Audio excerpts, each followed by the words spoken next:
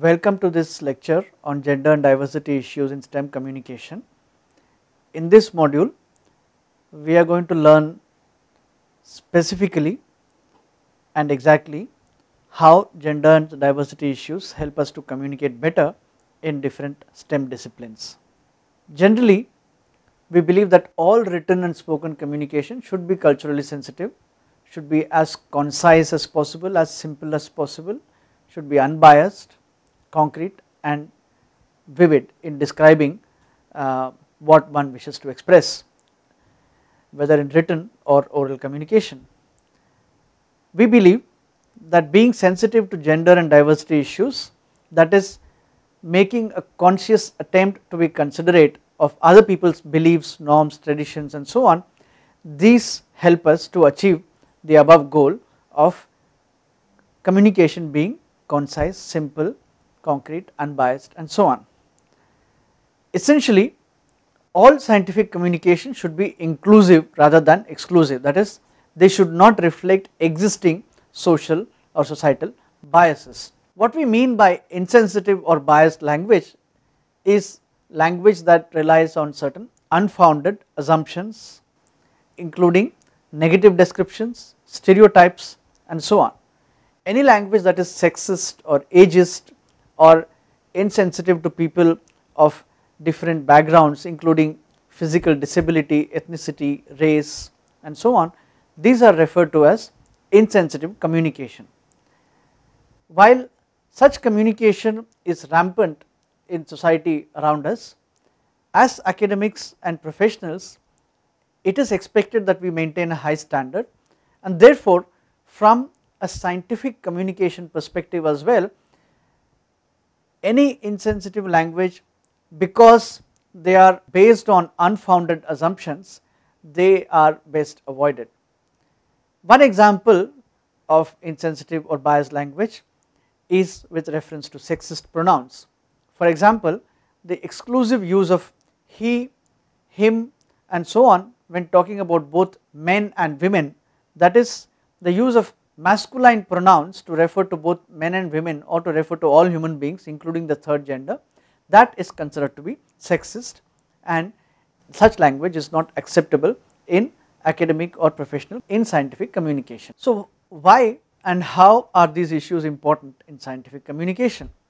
So we wish to suggest that this is more than just political correctness though that is not a bad reason either.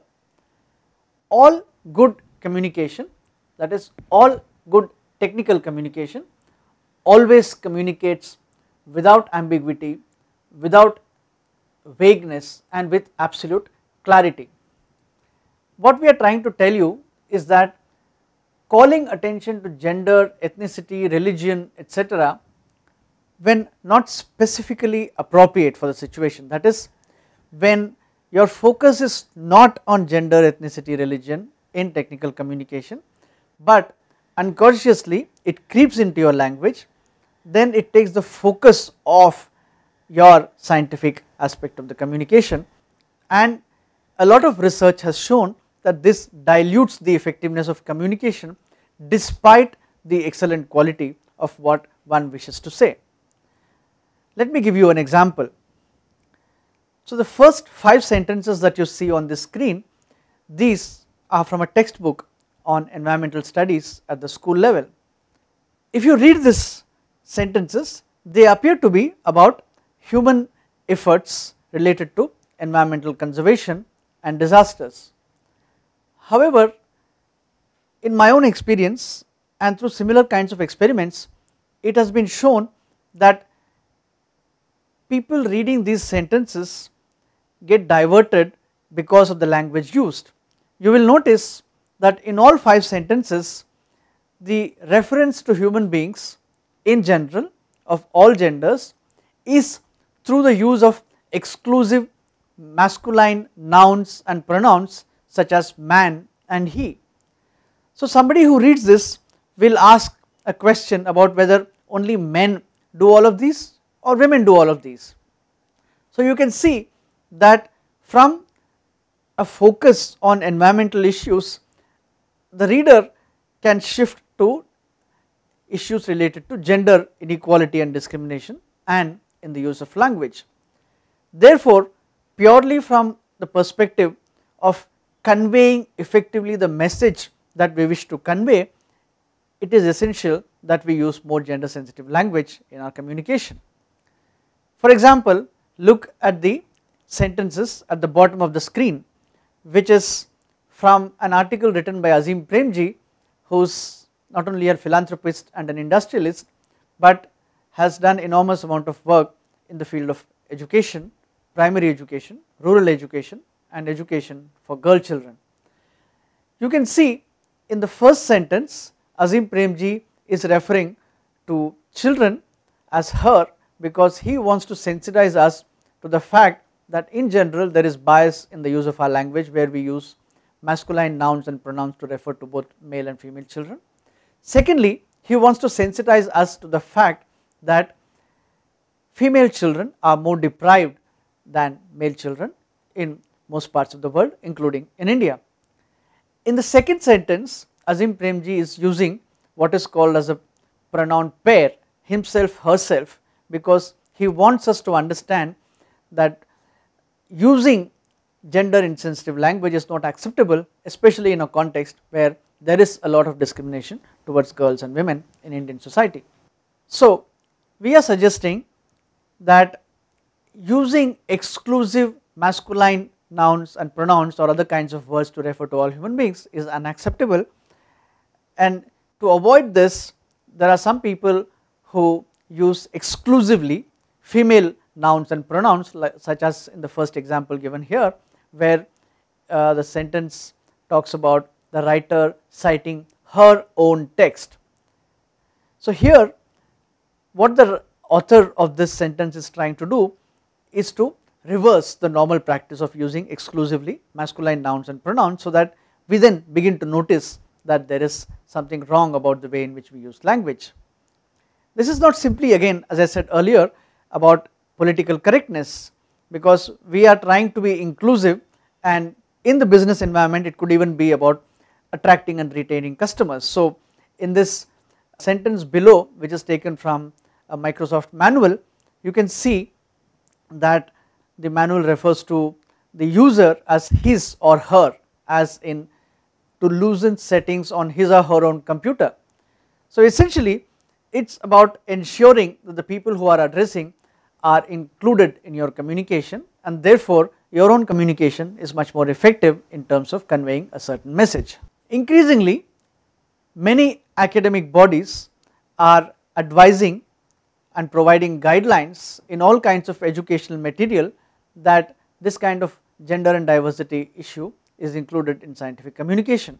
So in India the National Council for Educational Research and Training has put in place a set of guidelines to avoid all kinds of stereotypes relating to caste, creed, religion in all kinds of educational material whether it is textbooks or even uh, electronic material and to also ensure that there is no over or under representation of different kinds of groups in a country as diverse as India and there are no untrue generalizations. For example, showing men always as reading newspapers or women always as cooking are untrue generalizations about what human beings in general do. At the international level, professional academic bodies such as the IEEE or the American Society of Mechanical Engineers and numerous other journals and academic bodies also have provided guidelines to ensure that gender and diversity issues are incorporated in a sensitive manner in scientific communication. Apart from the need to ensure clarity and effectiveness of communication, insensitive use of language also is seen to send discriminatory or negative messages to other people.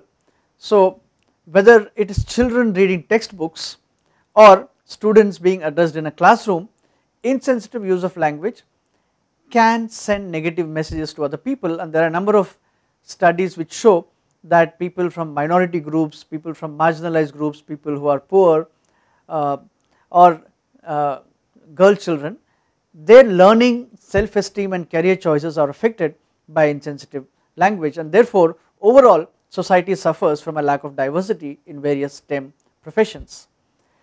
At the workplace also it is found that insensitive language affects interaction with co-workers and relationship with clients affecting both work, the workplace effectiveness as well as businesses in general. This is the reason why we feel that there is a need for general guidelines as well as specific guidelines for written and spoken language that are culturally and sensitive, culturally and socially sensitive.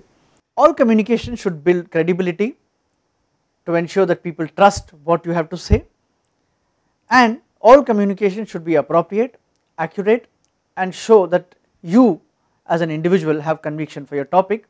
Therefore, uh, it helps you to demonstrate your own trustworthiness and people will be more willing to listen to you and to read to you. One important way of doing this is to incorporate gender and diversity issues in all kinds of scientific communication. We generally are advised that we should support our claims in a convincing manner and in communication we should appeal to common goals and values that we all share whether it is about the value of science or the uses of science, technology and engineering for everyday uh, life. These can be better achieved if we are more sensitive in our communication, if we are more aware of gender and diversity issues in the workplace, in dealing with clients and collaborators and in interacting with various funding agencies and government officials. Let us do a few classroom exercises to try and understand how different kinds of biases and stereotypes creep into our thinking both consciously and unconsciously. If you do this kind of an exercise and ask somebody to guess the occupation of these two persons, generally people will say that the person on the right is a scientist or a doctor or an academic or a professor of some kind whereas the person on the left is a socialite or is a sports person of some kind. It is possible that both of them may be scientists, it is possible that the person on the right is not really a scientist but is an actor. So our assumptions are based on a lot of factors. However, in scientific communication assumptions have to be explicit or assumptions have very little role. Whatever we communicate has to have a solid basis in evidence, in proof. Therefore, the kind of stereotype that is reflected in this kind of an exercise is something that is best avoided in scientific communication. So a lot of experiments have been conducted around the world popularly referred to as draw a scientist test where it is generally shown that when a person is asked to draw a scientist there are certain stereotypical images especially focusing on the gender of the scientist. It is therefore important that these kinds of stereotypes are avoided in all kinds of communication and we ourselves sensitize uh, ourselves to these kinds of stereotypes so that we do not bring them into our communication unconsciously. One can do other kinds of exercises also. So you can ask yourself this question, which of these black or white has a positive connotation? Most people will say white for very many different reasons, very few will say black or take this exercise. The picture on the left is of an earthworm, picture on the right is of a parrot. So if you ask yourself or if you ask somebody about which image gives you more positive feelings and which is more repugnant, most people will say the picture on the right that of the parrot because it is more aesthetically pleasing gives one positive feelings. However, all of these whether one is talking of colors or one is talking of creatures, these are matters of perspective. It is possible that both black and white could be beautiful and could give us positive connotations and if you look at it from a farmer's perspective an earthworm is much more useful for human beings than a parrot which is actually a pest for most, most farmers. So what we are suggesting is that the kind of stereotypes that are in our minds have to be avoided in scientific communication so that the being sensitive to existing inequalities that much more useful for society at large and it makes the people listening to us reading our uh, material to get a more positive idea of both STEM disciplines and the benefits of STEM for society at large. It encourages more people to take up STEM careers. Thank you.